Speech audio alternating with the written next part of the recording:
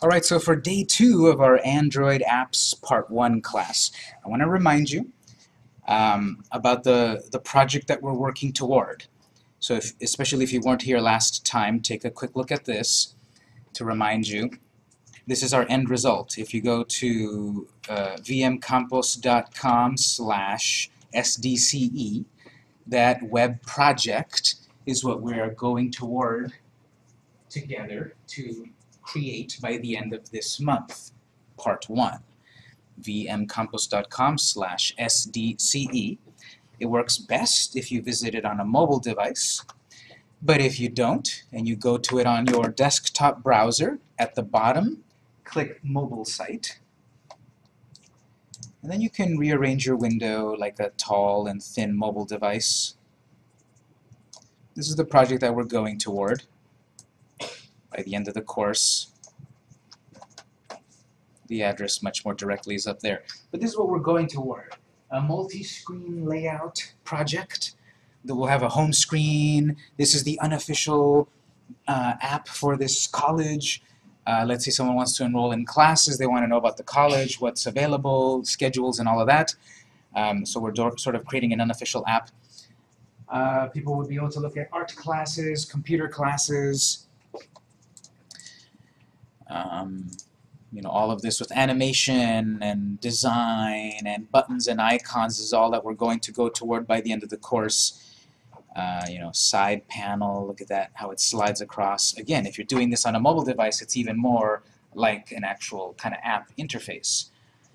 We're going to look at some, uh, some cool things like customization. A person will be able to um, type their name into the app, and then that'll be used throughout the app. Now it says, Welcome Victor. Welcome, uh, become an artist, Victor. Learn about computers, Victor. So that's some customization. We'll see that trick there we'll see about also a map having our app uh, recognize our location and then get directions and it'll give you turn-by-turn -turn navigation over to wherever you choose. So based on the technologies of HTML, CSS, and JavaScript, this is what we're going toward by the end of the course.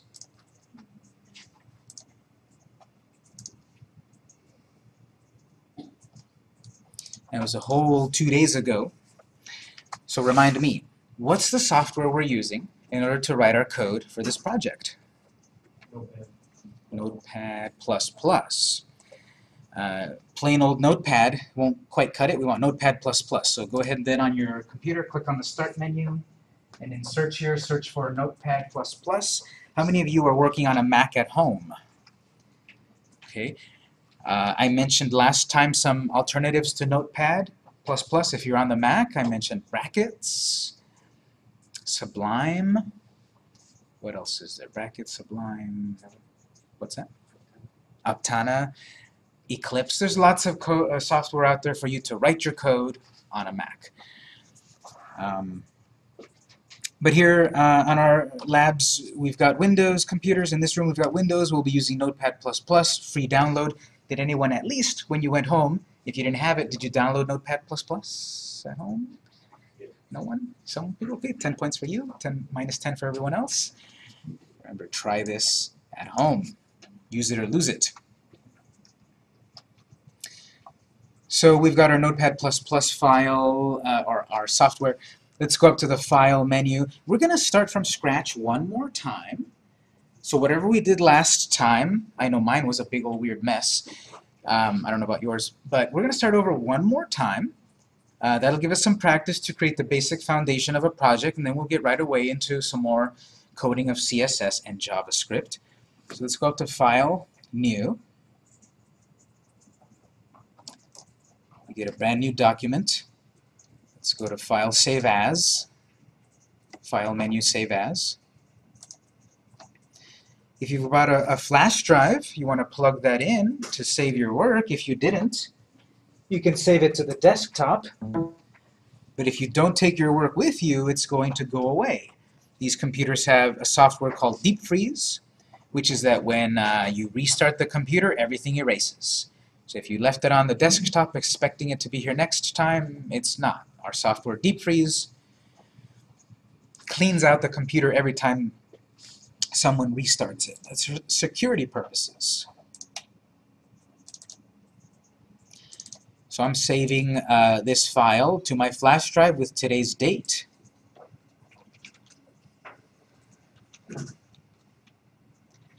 And remember to change the save as type to hypertext markup language, HTML. HTML is the language that we're using here, of course. It's the foundation of our app. It's, uh, it's code that is rather universal. It's been around since 1989. It's been evolving. It's behind a lot of our, our modern and powerful and cool websites, YouTube, Facebook, all of that. And it's going to what and it's going to be what powers our, our, our, apps. So let's save that. We have a blank document, which is of course the best and worst thing for any programmer. It's the best because we have a brand new white canvas to make the best great app the greatest app ever. It's the worst thing because we've got a whole thing to work with that is uh, um, could go anywhere. So what we need to do for the practice, remember last time, we have to define what kind of document this is, what kind of project. So we will type the, the tag of the doc type.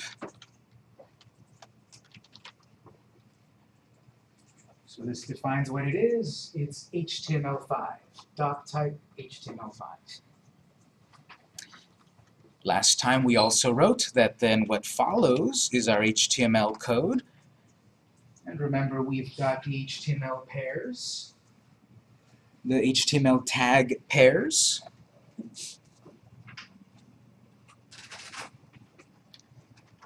Within the HTML block, we had the head block opening and closing head tags, and we also had the body block. We did that last time. Let's go ahead and type this like we did previously. It was the first thing we did last time, and we're not going to do this over and over. We're not going to start from scratch over and over, maybe the first two or three times. But then we'll be quickly getting up and running with frameworks and shortcuts and such. Here we're defining a document of HTML5 with a head and body section. Back to the head section, remember we created a title block. And we can do it like this.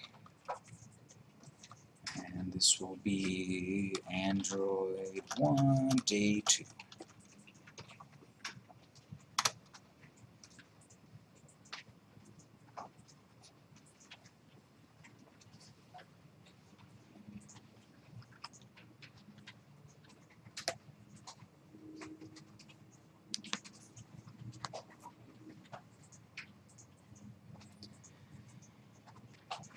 Workflow was that we write some code, we save our work, and then we view our work, or we run our work.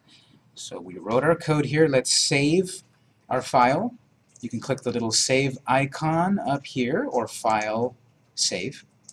And then we go up to the run menu.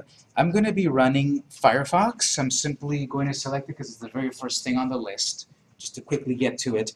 Also the, the keyboard shortcut Control Alt Shift X.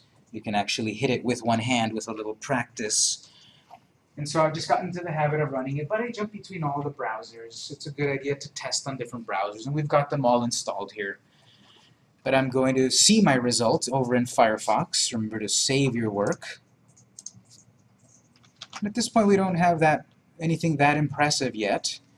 So save it and run it. We don't have anything that impressive, but we have a functional HTML document. We'll see in the web browser, we see the title up there, nothing in the body yet. nothing in the body. Question?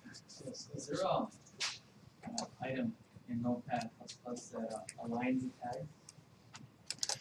Um, possibly, but let me show you this trick here let's say I have everything aligned to the left. What you can do is you can select the blocks that you want to align and then press tab and they all align together. So there, there's probably some feature somewhere there that lets you auto-align. But if you had everything, you know, lined up to the left, you can select like that. If I had everything to the left, I can make a multiple selection, hit tab, and all of those indent together.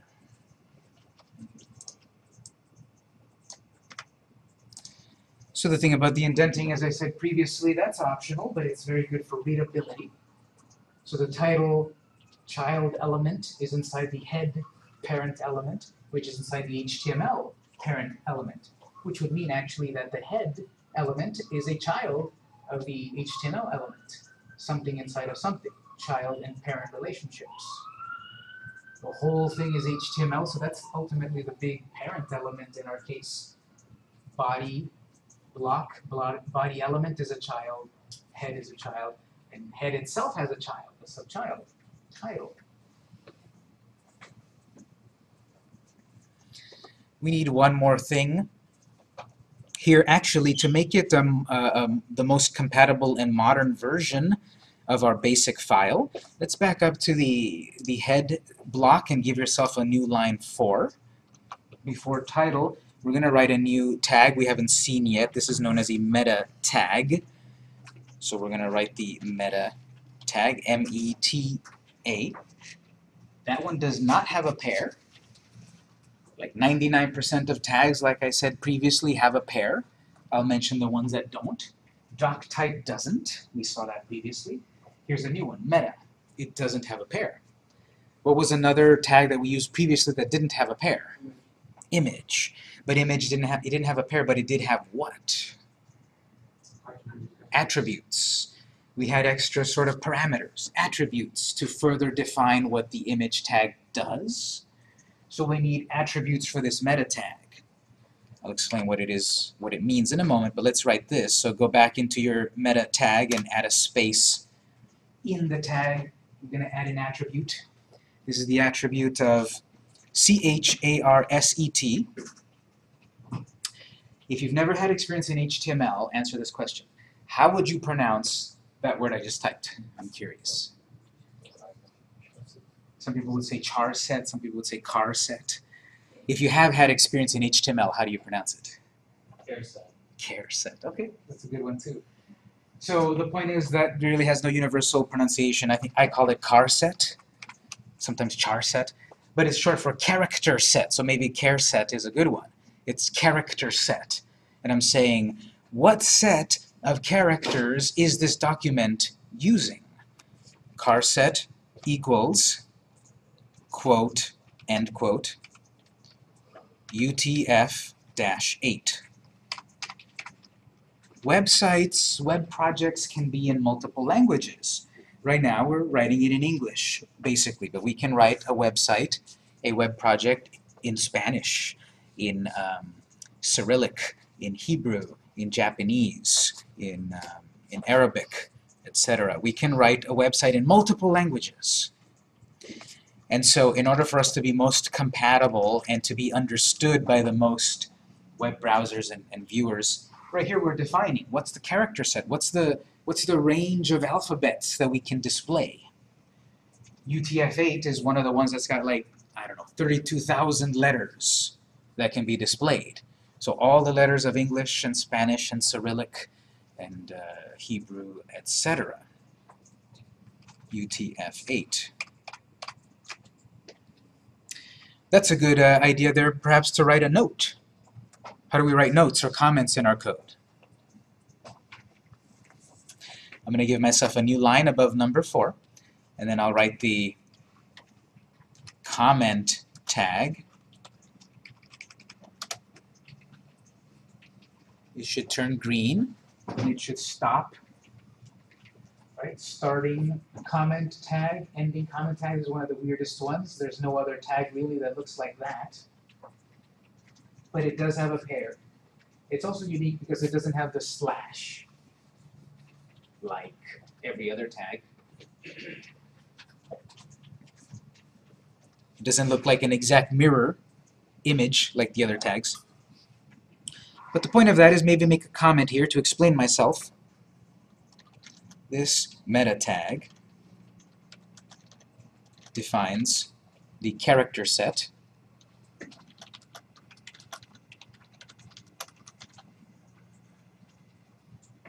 as UTF-8.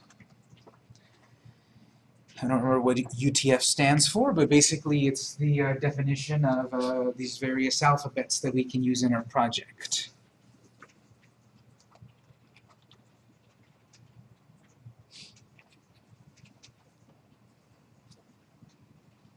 This is a more complete HTML document.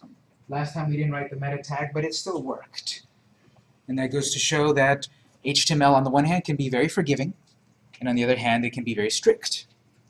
Technically the web browser is the one that can be forgiving or strict, because we're writing the code, and the web browser like Firefox or Internet Explorer, or whatever, it then interprets it.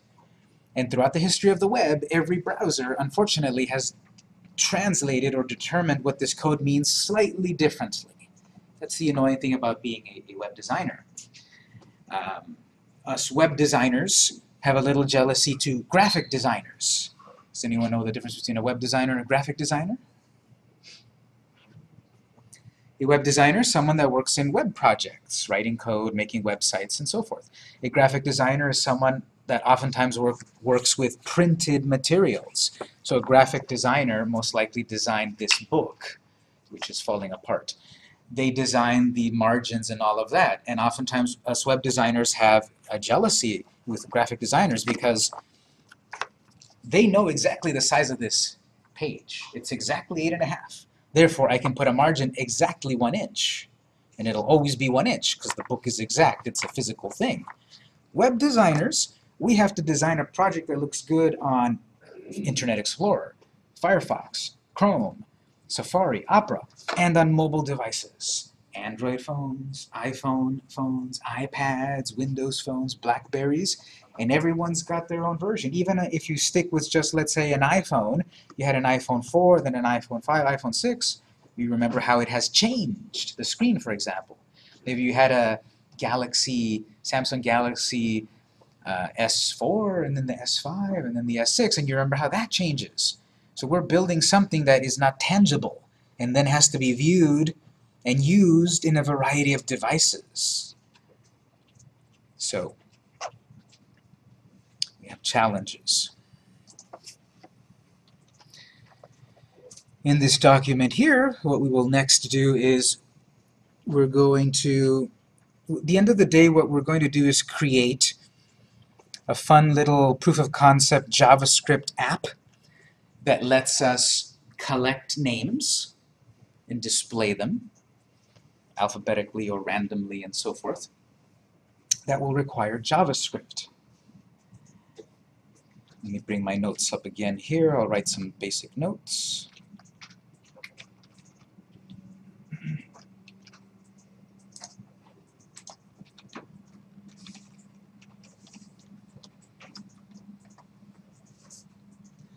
HTML, we're going to work with HTML, CSS, and JavaScript. I said previously uh, that our HTML is the structure of the project. CSS is the design of the project. And the JavaScript is the interaction. Sometimes you hear these uh, with the term of the of the content layer. So we'll say AKA content layer. People want to get fancy, so they make fancy words. Um, the design could also be aka the presentation layer.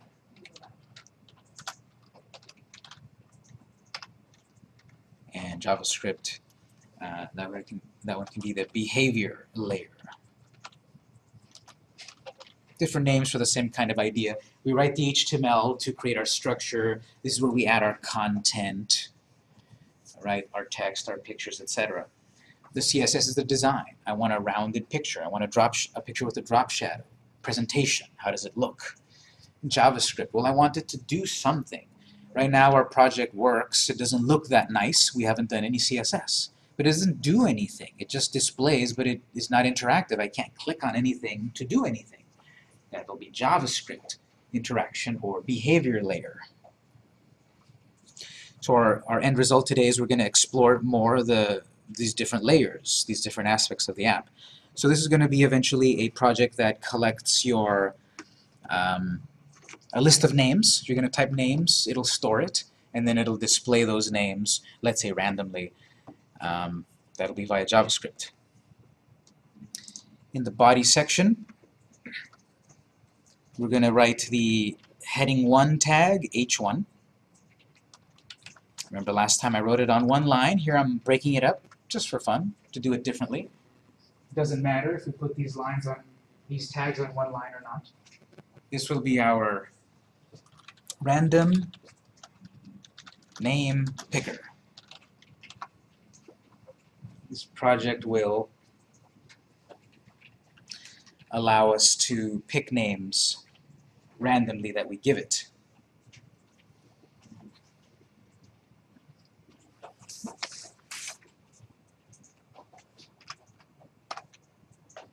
The way we're going to do this is we're going to have some boxes here. We're going to have a box for a person to type a name and click Save. Save the name, store the name. So this is going to require a new tag we haven't seen yet, the form tag. It's like a form that you see on a variety of websites where you have to fill something in. You're going to register to create an account on some website, and there'll be boxes for you to fill in and check boxes to check and buttons to click. That means we're creating a form for them to fill out. And a form can be complex or simple. You often see a form like this. Let me show you one of the most common forms you see all the time, perhaps. This is a form. When you do a search on Google or Yahoo or Bing or whatever, that's that's a form usually. There's a box, type something, click a button to do something. That's a form. Maybe if you do something like uh, come here often. This is a form. Put your name and your password and then log in. That's a form. We're going to need something like that as well. Input boxes and buttons to do something with it. So within the form. I'm going to tab in here because these elements are children elements of the parent form element, which is a ch child itself of the body element, which is a, a child itself of the HTML parent element. So we'll type the input tag. This one does not have a pair, but it has a bunch of attributes. First of all, type. What type of input do we have here? We can go look it up on a, on a book or a website, a list of all of the possible forms. For, uh, input box, checkbox, blah, blah, blah. So we have to say what kind of type of input this is. This is a, this is a text input. I will be collecting text here. I can't wait to see this. So let's save it and run it. See what does it look like.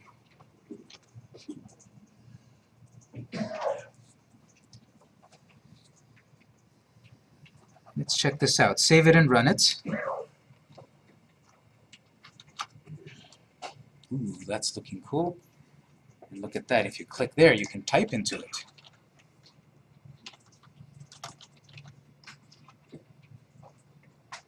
Still miles away from doing anything useful, but with simply the input uh, input tag, there's an input box where I can type. Let's refine it some more. Let's put some text on screen to show what this is about. Question? Uh, question?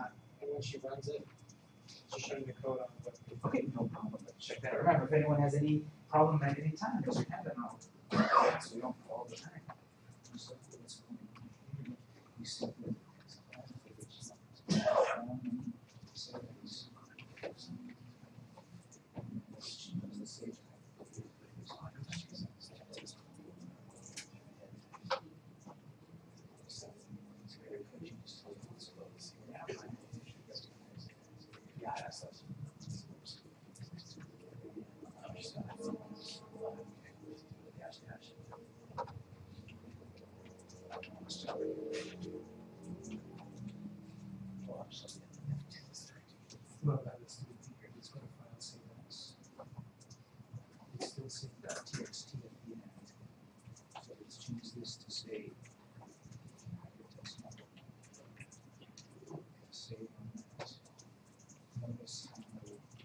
color change also. So, um, do worry about some of these comments and stuff.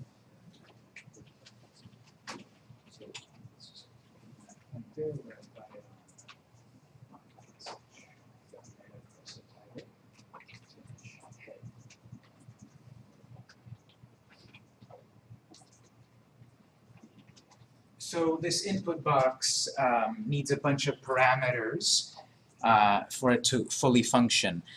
Um, we're going to say, how about a little bit of placeholder text to show people what are you supposed to type here? So we've got an attribute called placeholder equals.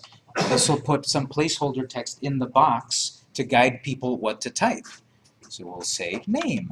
And I can type here in capital letters. I can type it something like your name. I can type, um, you know, first name, last name, whatever you want. And notice I'm typing it with capital letters and spaces and commas, like human readable, human readable uh, text. Everything else, as we talked last time, lowercase. Everything is lowercase. Placeholder text. If you save it and run it, that should appear inside the box. Think it's a little too much text. But the point is you can put whatever you want in placeholder. I'll just put name.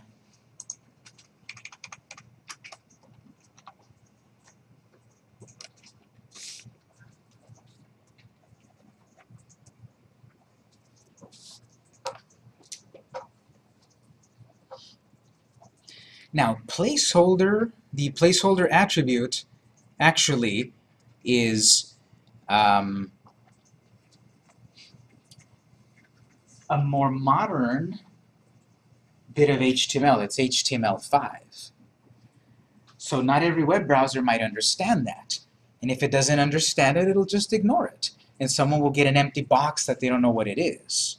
So as a fallback, for the people that might not have that functionality, let's back up and let's do this. Before this input, we're going to write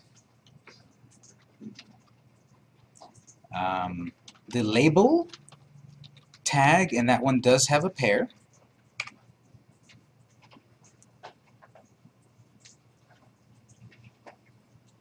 Label slash label. In between the two label tags, I'm going to write name. That's what's going to appear on screen. Label tag is an old HTML tag that is recognized by everything. And so if the web browser or the device doesn't understand placeholder, it will understand label. But we need to specify this text, this label is used for, is connected to input. So label needs an attribute which is simply for, F-O-R. So think about it as meaning this label is for that input box. Uh, we'll call this input name. We're saying something on screen is called input name. This label is being used for the thing on screen called input name. This one, so far, however, doesn't know that this is attached to it. So this is going to be another attribute that says name equals input name. That's how this label will know to work with this input box and vice versa. So to the input box, let's add the attribute name. So I'm just building more attributes on it. Input attribute type, attribute placeholder, attribute name equals, and the exact name that I typed in the for attribute, which, uh, what did I call it? Input name. This one, in my in our case, we made it up. All of everything else that we've been doing is defined in the in the HTML standard. But there's going to be places where we make something up where we write something uh, however we want because we're programming it and we're deciding the, the structure and such.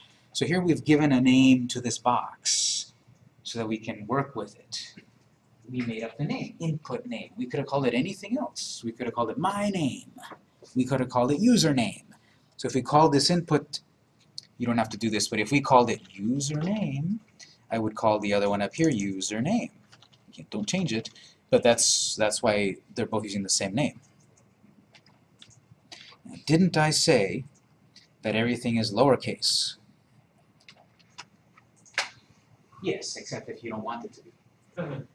Like here. Because this could have been just fine, input lowercase name. But oftentimes, the, uh, the style of when we write code, especially when it's more than one word, we do intercaps, which is capital letters inside of the word, because input name and input name would work just fine. But which is more readable? Input name or input name? Input name. The one with the capital N. So that is allowed. In some instances, I'll point them out, of course. There's nothing to fully capitalize here and, and here. It's this is really done when it's like two or three words strung together, because we can't use spaces. We shouldn't use dashes or underscores. We need to run the word together. That's it's part of the specification. And uh, at least what we can do is intercaps, capital letters inside of the words.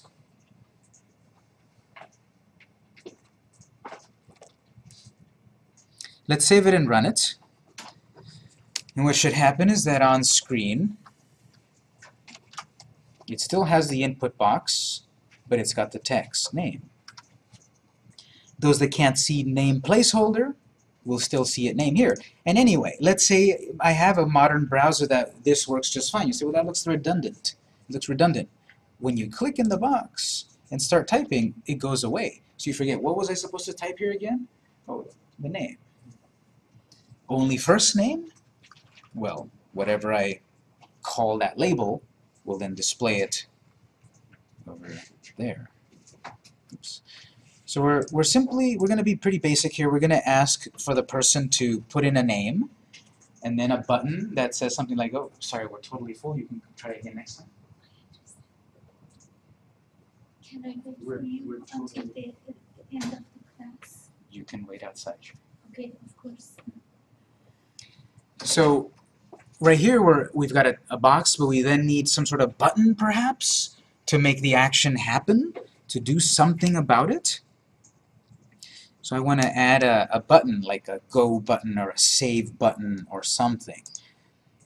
Um, on the next, uh, this is, I'm on line 15.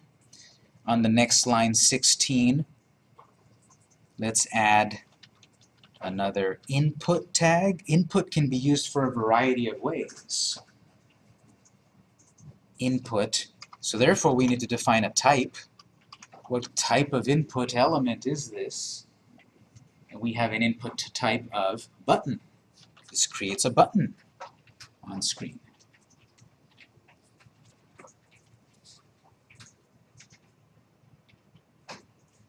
We need that button to say something. It doesn't know what it should say. So the next attribute is value. We'll say save. The button will say save. Go ahead and save and run that and see what it looks like.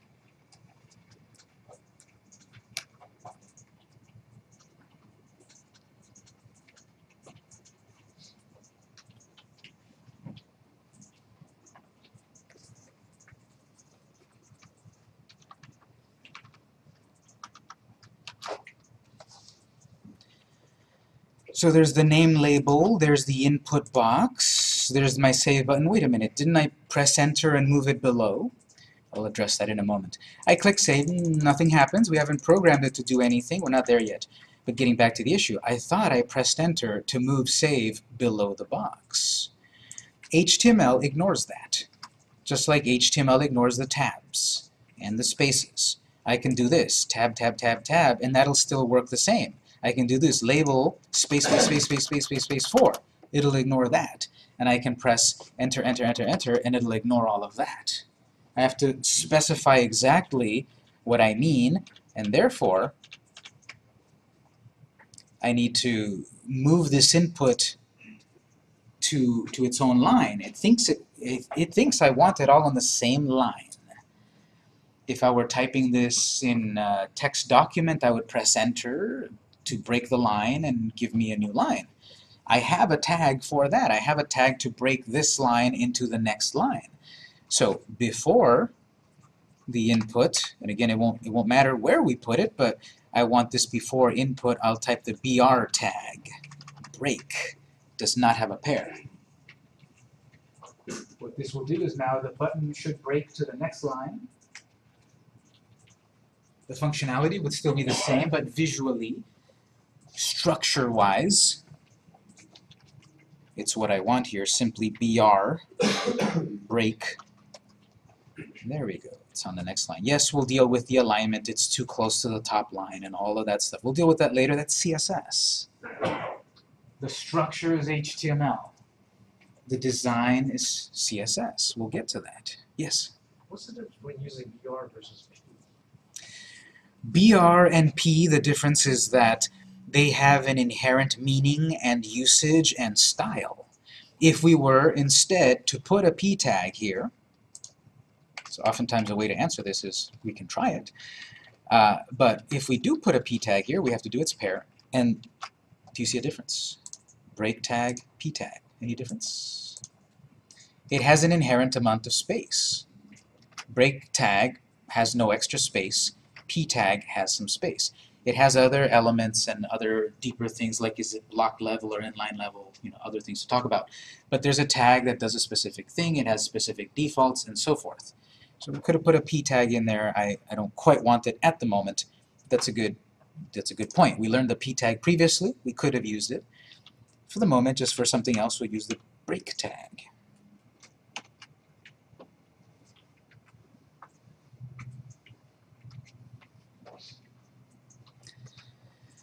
Oftentimes, when you are filling out some sort of form, let's say one with like 10 things to fill in, you're filling it in and at a certain point, whoops, I made a mistake, let me start over. Have you seen that? That you can reset a form and start over? We can do that. Let's say, actually, I don't want to type this name. Cancel. I want to, I want to start over. I want to type a different name. So we can add another kind of button to cancel our form input. I want to keep that one on the same line, perhaps, as my save button. So on my line 16, I'll add a space. I'll put in another input.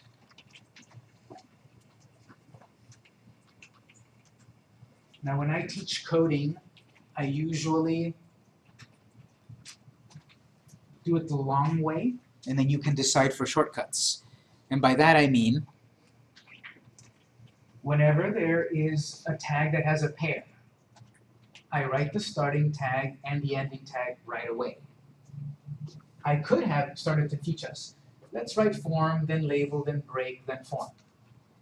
The problem with that, I feel, especially for beginners, is we can often forget to close our tag.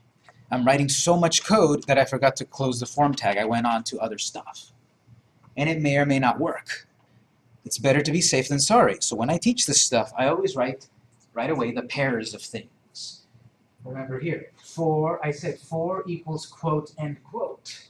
I wrote the pairs of quotes. If I forget to close that quote, the whole thing will most likely break.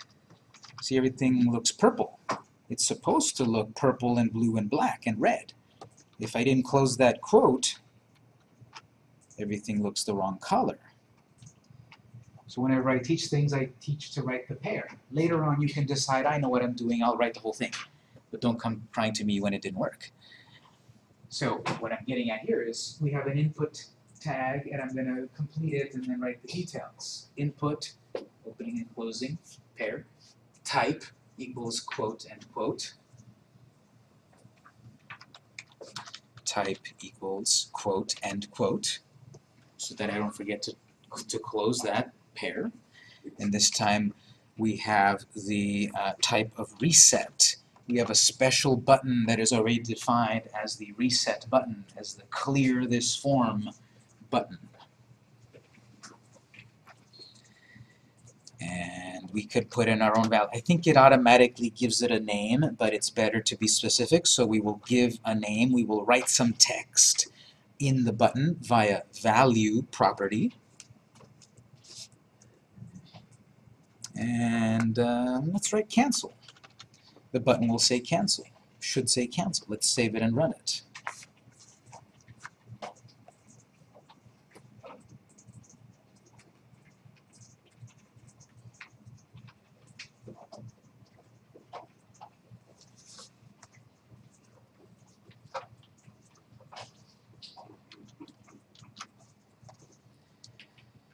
So I type a name here, I click save. It doesn't really save yet, we haven't programmed that. But it does work. If you click cancel, it does cancel. It does clear it. That's built in. Save doesn't know what we mean with that. Doesn't really do anything.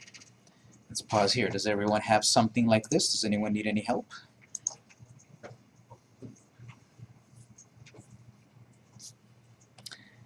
Okay, so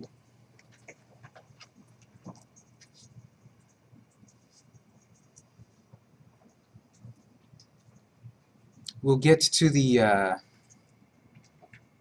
let's do let's do one thing here and then we'll, we'll do a little CSS before we forget this.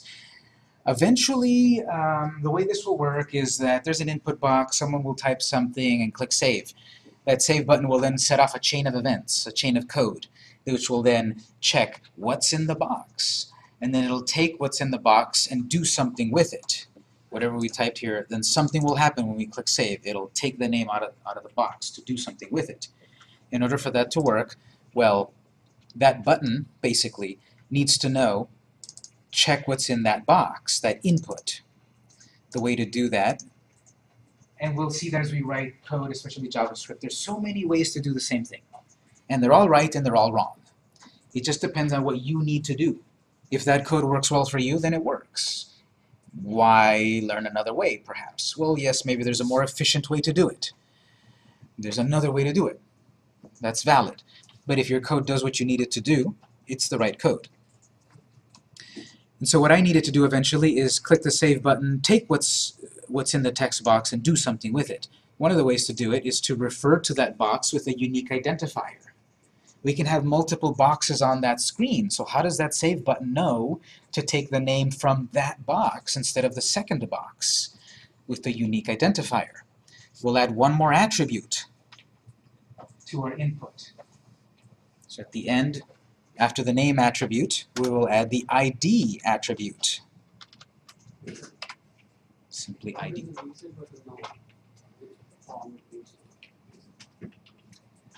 Um, because this uh, because this input uh, because this reset button is in is a child element of that particular form, it knows. But we can also specify it if we have multiple forms. How we're doing it here, we could add form ID equals form one, and then further write some code for that reset box to target only this form. But because it's a child element of this parent form element, works. And so we need a unique name for this. This is one where we can make it up. This can be anything we want. Um, we're going to call this btn save. This can be anything you want.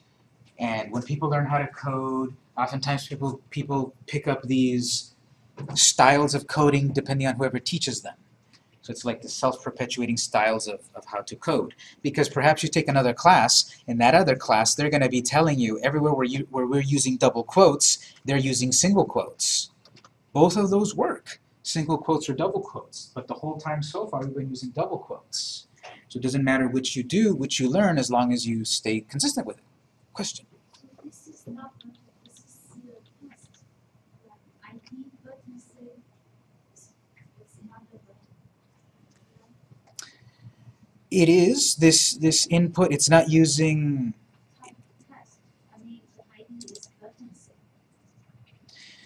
yes, this is any name that we want it to be, and we are saying that it's an input type of text, it's collecting text.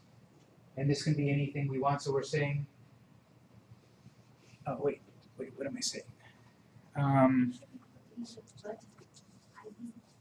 that would make sense, yes. Um, this will work because we are inventing this, but logically, I do see what you're saying. Um, sorry, yes, I meant input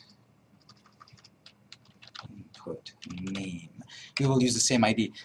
Both ways would work, but logically, this would be a better way, yes. Thanks for catching that. Because this is an input box, and this input box is going to save a name. We could have an input box for a password, and that would be input password. What I meant was, I'm thinking a little bit of a, ahead. This button over here would be our BTN save. So I can use the same name here twice. But what the button will do is reference that uh, that that box in a moment. Yes. What's the difference between ID and name? We used name because that relates to label. We're saying this text that appears on screen is a label used for the element called input name. So that's how this label knows to be associated with this input text, input box. Uh, so this name of this input box is the same as this label that's being used for. That's how we link the two. And then we've got ID, which we will use in a moment to capture that name with the input of the button save. So for the moment, this is what we've got so far, just to check if our code is working. Got this text, save still doesn't work, cancel works fine. This is going to be useful for us a little bit later. We're gonna sort of put a dot dot dot on that. We'll get back to that in a moment. But as I'm as I'm getting to this, the button when we click save will take the name written on this input field and it knows because we're going to reference that input field with that ID in a little bit.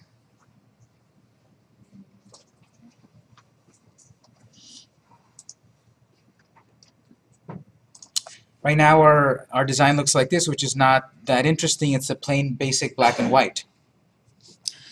Uh, we wrote a little HTML. Let's write a little CSS to maybe change the design a little bit. Then we'll write some JavaScript for it to actually do something. Previously, we wrote CSS in an inline manner. I didn't call it that, but let's make a note here.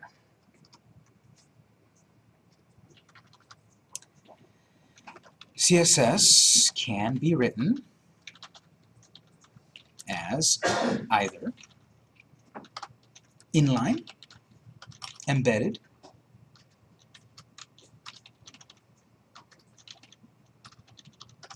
or external.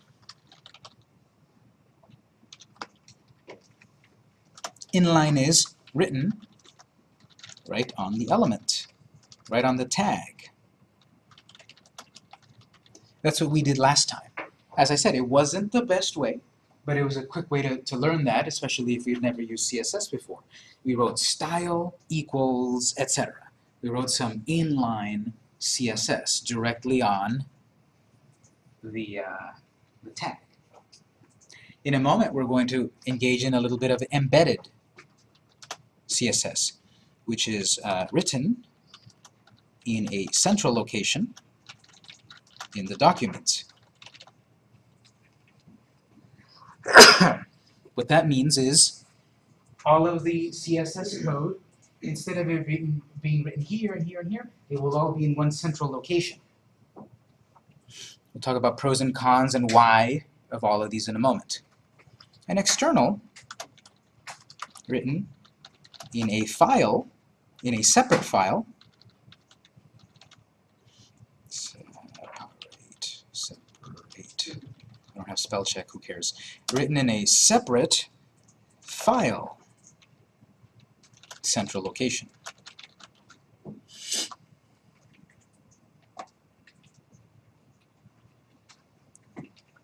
So inline CSS, one pro, one good thing about it is works quickly.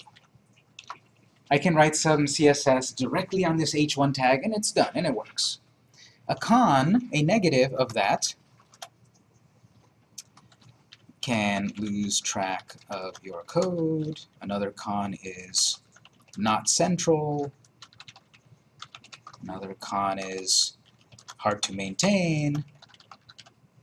I could go on. There's more negatives than positives about writing your code inline.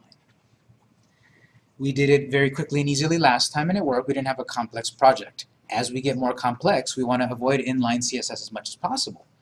Because we're going to have a, a, a, an app, a project that's 500 lines, 1,000 lines. And to kind of scroll through it and find the right code when it's in line like this can be difficult. And even with good old Control F to find within our document, that could also be tricky if our CSS code, code is strewn throughout the thousand lines of code. So embedded. The pro about that, easier to maintain. All of the relevant CSS code is in one section at the very top of our document. Quickly to find, quickly to edit, quickly to change. A con of that only works with current document. I have, at the moment, one document, the document with today's date. But eventually, we're going to have a project that has a home screen, a, uh, an art classes screen, a um, PC classes screen. All of those three screens could be separate files one file called home.html, another one called art.html, and another one called PC.html. I might want to do that for several reasons, but let's say I have that. So if I write embedded HTML in my home HTML file, I mean embedded CSS in my home HTML file, it only applies to the home HTML file. Therefore, the back, the cool background color and all of that that I set on the home HTML file doesn't automatically apply to the art HTML file or the PC HTML file. It's been embedded into only one document. That could be a big con, especially if I've got a lot of documents. So guess what? That's where external comes in. Con, uh, pro, can be applied to multiple documents. That could be a big pro. I write all of my CSS code in one separate file. For example, colors.css. And I write 100 lines of CSS in that one file. I then link that file to the home HTML file, the uh, art HTML file, and the computer's HTML file. And when I make a change to that CSS file, all of those changes trickle down to all of the linked files. So it can be applied to multiple documents, easier to maintain, and edit. So it's all the positives of what the others were negative. And a con of that must be written correctly. Doing it in an external way requires that we write our code in a specific way and also link those files correctly. Writing specific code that links the HTML CSS file, the HTML file, and the CSS file. And if we don't type that correctly, then the HTML file doesn't know to use that CSS file, and then it won't work. And the preferred way to do this is external. I mean, that doesn't mean you cannot do these other ways. But as much as possible, we should put our HTML file, HTML code in one file, our CSS code in another file, and when we get to JavaScript, JavaScript can be inline, embedded, and external. And same pros and cons with JavaScript. When we get to JavaScript, we should also put our code externally so that we have like one file that has all of our library of code that we can reuse over and over. We're going to write some CSS, but we're not going to do it external just yet. We're going to do it embedded. We're going to have one central location for CSS code to maintain it easier, to get practice with that, because that is useful. And then a little later, then we'll do external.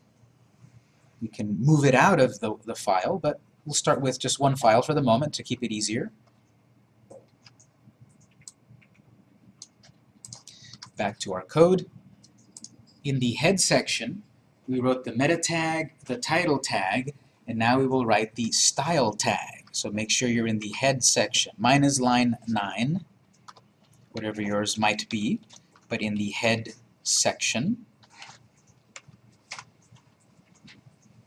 Remember, you can click on a tag and Notepad++ should find its pair. If it doesn't, you might have written the pair wrong, or if it doesn't have a pair, it doesn't highlight a pair. But make sure you've written the style tag pair in the head section head block. And this basically means we're about to write CSS. Now in the old days, we would need to write an attribute here. Don't do this. Style, I don't even remember it. Style uh, type equals uh, CSS slash text, I think. Don't even worry about it. Um, text CSS or something. Um, don't worry about the attribute. We are using HTML5. And HTML5 assumes that wherever there's a style tag, it means CSS.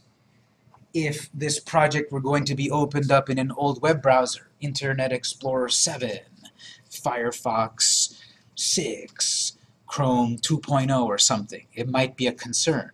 But again, we are forward thinking in this class. We're not going to dwell and deal with the really old browsers anyway. We're going toward a device. There's no such thing as Firefox 3.0 on an Android phone. There's no such thing as Internet Explorer 7 on a phone. So we'll be fine with simply creating a style block like this.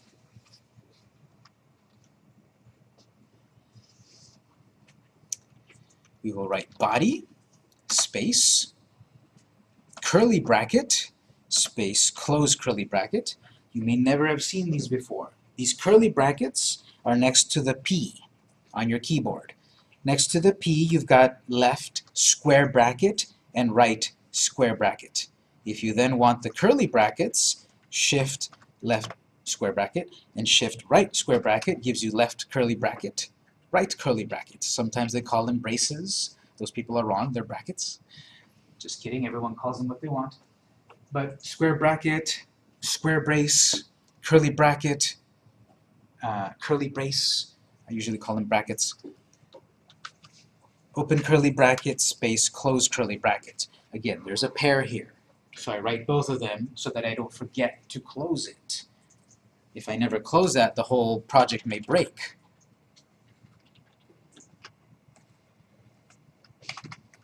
Inside of that, let's write body dash color colon pick a color semicolon. That looks familiar. We wrote, I'm sorry, body? Background color dash color. We're, that's familiar. We wrote background dash color previously. We wrote it directly on the body tag previously, didn't we? Style equals body, uh, background color, pink. Here we're writing it in a slightly different way. We have created, or we have chosen a selector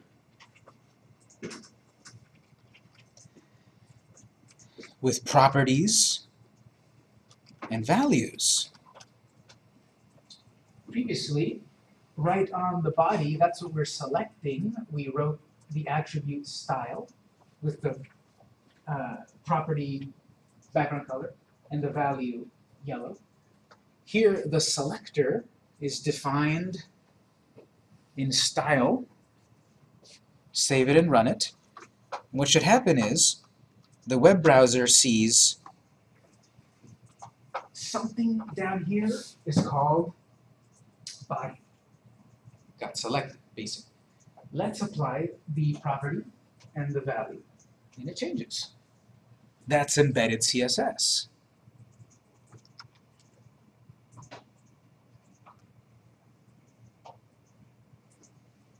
Can you figure out a way? How can I change the color of random name picker the way we just learned?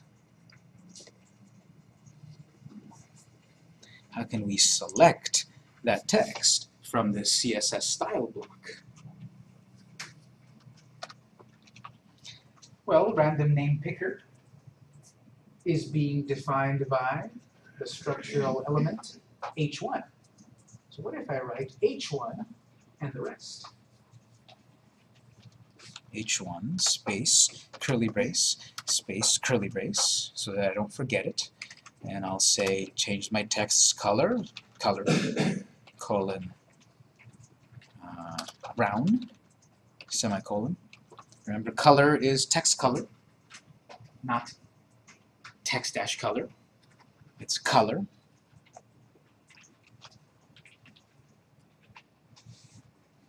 So my h1 is the selector there's something on screen called H1. The web browser started from the top and went to the bottom of my code. It got to line 11. Firefox, in my case, found line 11, saw that command, processed it, and attached it to or used it upon H1 down on line 15. And it should have made your heading 1 tag then color brown. There it is.